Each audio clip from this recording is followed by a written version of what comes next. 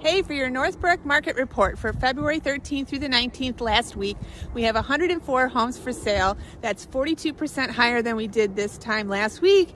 Uh, a lot of those are in the coming soon and they haven't yet hit the market.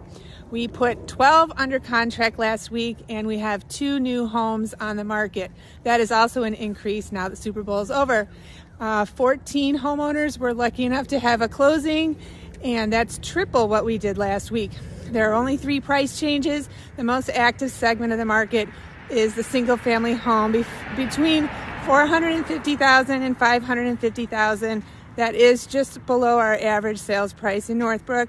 And we have 32 homes for sale in the private listing market. And that's what we call the coming soon. And I had this question this week. How many of those actually sell before they hit the MLS? The answer is 30%. Now, the interest rates went up higher last week. We are hovering around 6.32%.